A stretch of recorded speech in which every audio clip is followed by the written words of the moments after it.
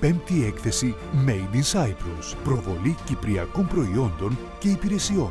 20.000 επισκέπτες από όλο τον κόσμο. 3.000 προϊόντα και υπηρεσίες. Περισσότεροι από 300 εκθέτες. Πολιτιστικό κέντρο Τρακασόλ, Μαρίνα Λεμεσού. Μέγας χορηγός Trust Insurance Cyprus. Χρυσή χορηγή. Δικηγορικό γραφείο Αρετή Χαριδίμου. EIMF. Primetel. Χορηγός επικοινωνίας Time Out.